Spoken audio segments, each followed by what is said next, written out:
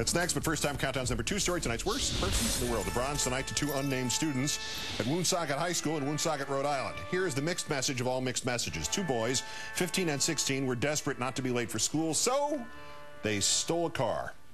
The keys to which were found in the pocket of one of the guys as he sat in the detention room because he was late for school anyway. Our runner-up, Alberto Gonzales, the disgraced former Attorney General, apparently does not realize he is the disgraced former Attorney General. He admits he's been looking for work in the private sector since last April with no luck.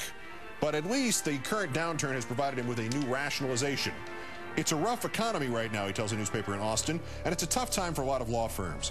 Greater opportunities will present themselves once the stories are out there. Part of the problem might be Mr. Gonzales's expectations. I'm very fortunate that I'm at a point in my life where if I wanted to do something completely different, be baseball commissioner, for example, he says, seriously, I would love a job in baseball. A plug there, I can do it. Speaking as a lifelong baseball fan, historian, reporter, and customer, I'd rather see the game vanish from the face of the earth. Speaking of which, our winner, Glenn Beck, after he lost his show on CNN, he's got a perfect fit over there on Fox Noise.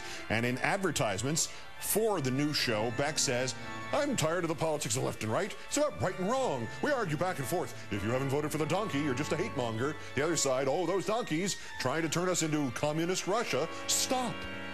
There seems to be a complex psychological, hypocritical self-hate phenomenon going here because it is Beck who's the one who constantly claims that Democrats are communists. In August, he called Obama a, quote, Marxist. A year ago, he called Hillary Clinton Comrade Clinton and said a plan of hers sounds like the Soviet Union. Beck said of John Edwards, quote, he's a communist. He called a Harvard professor, quote, Stalin. And after John McCain sewed up the Republican nomination last winter, Beck said, it's not just a fear slogan to say Democrats are communists. We are on a collision course with socialism, communism here in the United States. Unfortunately for Mr. Beck and the rest of us, he is not on a collision course with sanity. Glenn, if it is hypocritical self-hate, at least you have plenty of company. Beck, today's worst person in the world.